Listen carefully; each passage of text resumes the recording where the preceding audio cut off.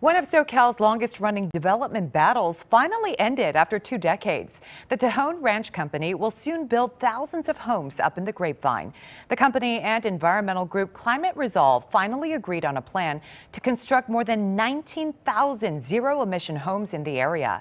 The two sides had been locked in a legal battle over the project. The group claimed the plan didn't account for potential environmental impacts, so the company compromised and made changes. And as of Wednesday, the lawsuit was settled.